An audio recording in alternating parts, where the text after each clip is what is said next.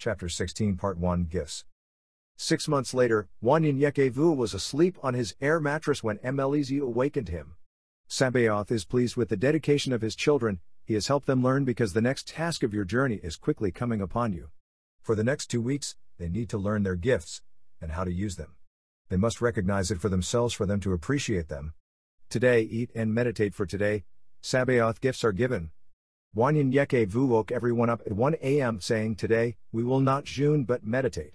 They had looked forward to training, but at the same time, it truly relieved them thinking it was a surprise for them because Wanyenyekevu was acting mysterious, so not knowing what to expect, they kept their guards up anyways, just in case it was a trick.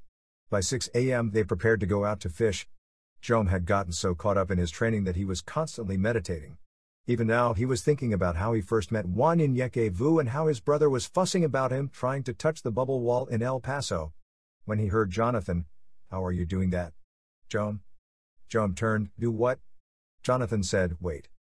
Jom looked around and saw a look of awe on their faces. Jom said, What in the hell is wrong with you guys? Jonathan ran to his tent, grabbed a mirror, and returned to Jom, saying, Look. To his amazement, he had Wanyenyekevu's body, face, hands, everything. For he was Wanyenyekevu. Jom quickly stopped thinking, and he returned to himself. Jonathan said, You did me too. Jom thought about Jonathan, he changed into Jonathan and quickly changed back to himself. How did I do that? Jom said, looking at Wanyenyekevu. Wanyan Yekevu said, This is your gift from Sabaoth. Looking at the rest, he said, Continue to meditate, and your gift will manifest. Jom stood fishing, smiling and laughing. He changed back into Wanyenyekevu, looked at Wanyenyekevu, truly, Sabaoth is able. A cold, then hot feeling rushed through Jom's entire body. Then all of a sudden, he started saying things that no one understood. Jom looked at Wanyenyekevu to ask him what was happening, and Wanyenyekevu did a dance and started speaking another language as well. He stopped and told Jom to continue as the Sabaoth works with you. Wanyenyekevu spoke to the rest. This is the sign that Sabaoth has accepted you, and given you your true indication of his acceptance, to speak in other tongues, we call enlightenment. Jonathan and Daniel are fishing, while the rest are scattered in different directions as some medicate, and others gather beans and berries. Mercy was singing and collecting berries. Her singing made her happy while grabbing a berry she couldn't quite reach. Then, suddenly, she heard her basket drop. But she had the berry on her back. She looked from side to side and saw this long object in front of her face. She stopped. Joy? How did I get up here? Surprised, Joy shouted, You, you're a bird. Mercy laughed and quickly came down the tree, but unknowingly, she was a snake slithering down the tree. Clapping her hands, Joy told Mercy, Do it again. Do it again. Every time Joy clapped her hand, she saw sparks coming from her hands. She held her hand up, and electricity went out of her hands like lightning bolts. Excited, she pointed to Elisha. Elisha. She shouted, and a bolt of lightning shot from her hand and headed toward Elisha. Elisha held up his hand as he saw the lightning racing toward him, but it hit some kind of force field and exploded on impact. Elijah was fishing and heard everything so far away and came running to see what was all the excitement was about. I heard you all the way over there by the lake. Said Elijah. Elisha replied, How is that possible? Before Elijah could say a word, Joy pointed to the east. What is that cloud of dust coming from? Wanyenyekevu was approaching them. That's Grace. She just ran 15 miles around the entire lake in 3.2 seconds. Jonathan was walking toward everyone, holding Daniel by the hand. It seems like everyone has received their gift, except Daniel and me. Jom said to Jonathan. If that's you holding Daniel's hand, you have received yours as well, for we cannot see you. Daniel looked at Jonathan. He felt his hand, but he was not there. Daniel smiling said, You're invisible. Wanyenyekevu was very proud and looked at everyone. Your gifts are manifested, and Sabaoth is pleased. As he continued, suddenly everyone was dancing and speaking in new tongues. An hour went by before everyone stopped. Wanyenyekevu said, for the next two weeks, you are to perform a holy june on your own and perfect your gifts until we hear a word from Sabaoth. But know this your skills and your gifts go hand in hand. If you perform your skills without your gift, you are a man. If you perform your skills as you perform your gift, you are ten times a man because Sabaoth has given you these gifts, and you are with Sabaoth, and Sabaoth is with you. Spiritual gifts, a spiritual person, then we must fight in the spirit. Looking confused by his words, and before anyone could ask a question, Wanyenyekevu said, I know, I know. I went through it as well. Sabaoth will show you what I mean, as he showed me. The following day everyone was practicing with their gifts, and Wanyenyekevu was near his tent meditating, when he heard a small voice, Everyone has their gifts, but I do not.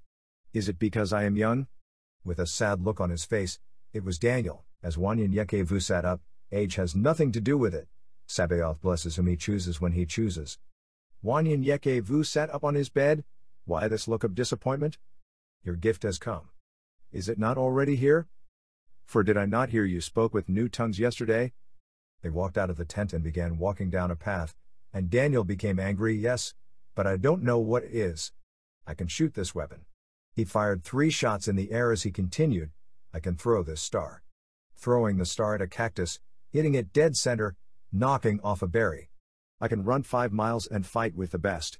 Wanyenyekevu looked at Daniel, and you just killed that eagle, flying above with that careless shooting. The bird came hustling down to earth just a few yards near them.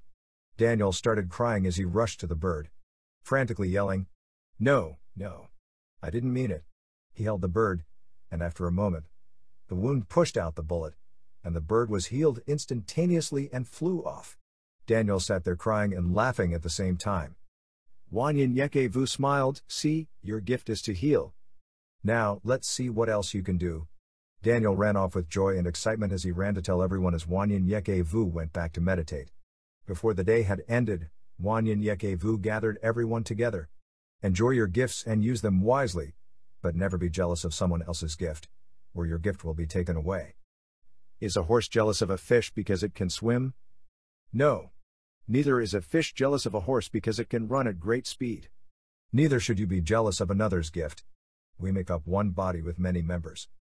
After a week of practicing and getting familiar with their gifts, Wanyenyekevu gathers the group together, Umkumbi. He shouted, To be as one, we need to know each other's strengths and weaknesses.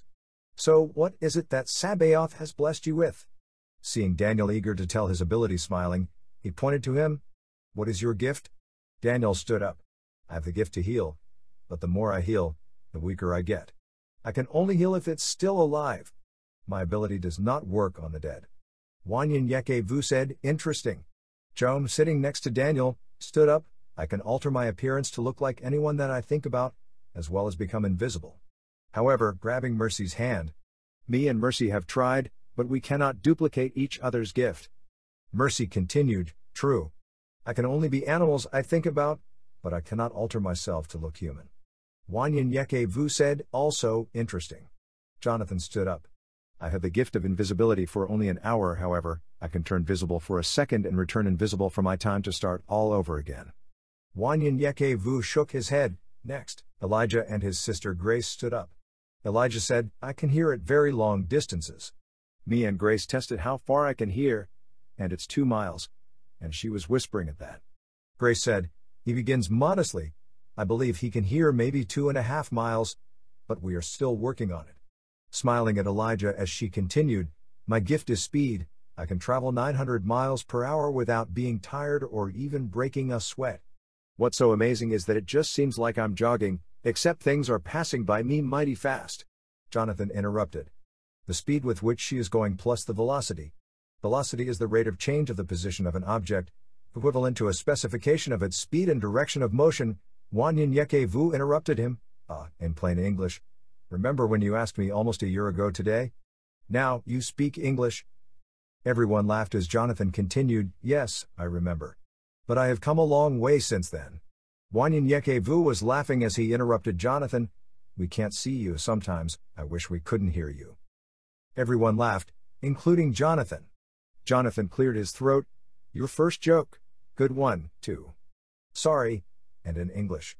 Grace, with her speed, could kill an elephant just by tapping it lightly. And there are many other qualities associated with her speed. Shaking his head, Wanyenyekevu said, You and Elisha work with her on the other aspect of her speed that she is comfortable with.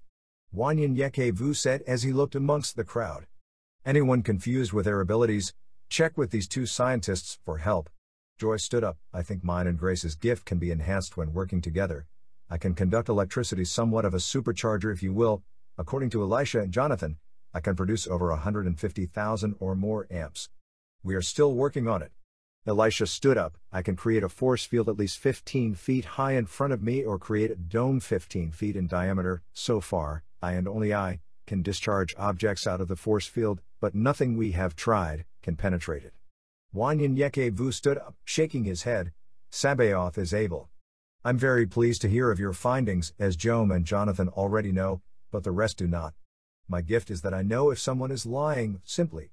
I can read a person's heart and I have a second gift as well. I can see into the future for up to 10 minutes, but during the June and our training. Now I see ahead of time, as I please. Before, it would only appear in visions when dangers is about to happen. They stood there discussing their gifts when suddenly, in the middle of nowhere, they were surrounded by thousands of Anakatas. Wanyenyekevu, confused and shocked because he had not seen it in his vision, shouted, Iwa! Everyone from a circle with their back against each other, Wanyenyekevu shouted, Impi! There he saw a figure moving toward them. When the figure reached the front, it was Emelezi, and the Anakatas disappeared. Please sit. Jonathan fell to the ground, sobbing like a baby. Everyone looked at him, Emelezi said, Leave him, for Sabaoth is dealing with this man for a special reason. He stops and blesses Jonathan by touching him on the head and whispering in his ear,